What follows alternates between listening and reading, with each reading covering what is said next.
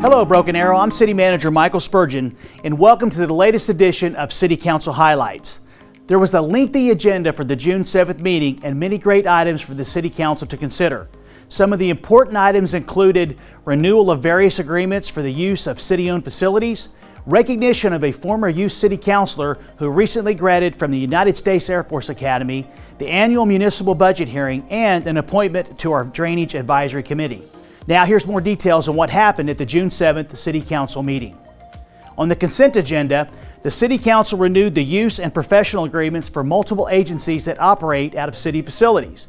These annual agreements ensure the public has continued access to everything Broken Arrow has to offer. Agreements were renewed with the following organizations the Broken Arrow Genealogical Society, the Broken Arrow Historical Society, the Military History Center, and Greenway Golf, who operates our Battle Creek Golf Course.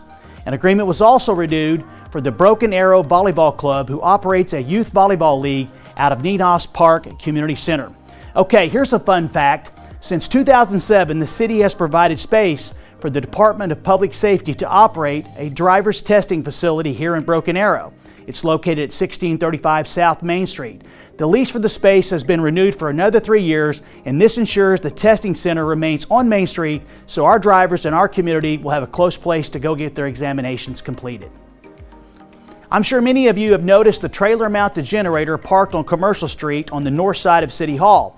Well, that's going to be going away in the early fall as we awarded a contract to Third Generation Electrical to replace the permanent standby generator behind City Hall.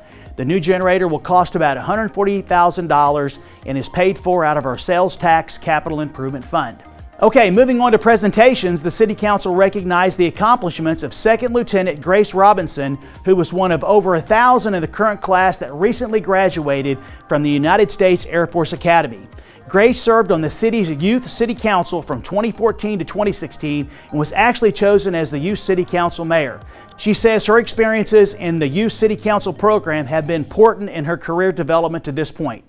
Grace was one of the only a few officers selected to cross commission in Space Force, where she will soon report for her duty at Space Acquisitions at Fort Meade, Maryland. Congratulations, Lieutenant Robinson.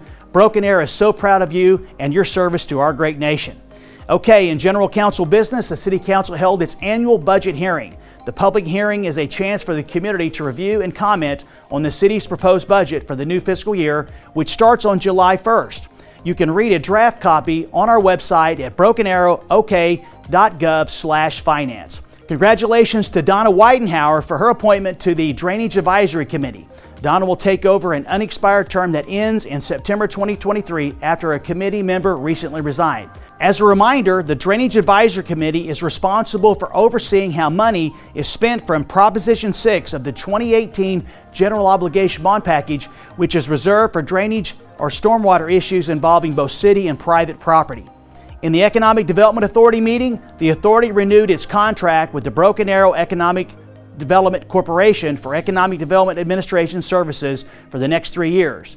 The EDC's mission is to encourage and facilitate economic development by attracting new businesses to Broken Arrow, as well as promoting economic health and expansion of existing businesses within our city.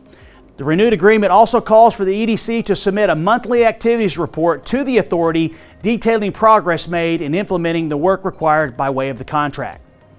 Well, that's a wrap, folks, for this edition of City Council Highlights. Just a quick note to let you know that our goal is to always be advancing transparency. The next City Council meeting will be held on Monday, June 21st. Until then, thanks for joining me, and I look forward to seeing you around town. For the full agenda and video of the City Council meeting, go to brokenarrowok.gov. If you have any questions about items discussed in the meeting, please contact the City Manager's office at 918 259 8419 or email mspurgeon at brokenarrowok.gov.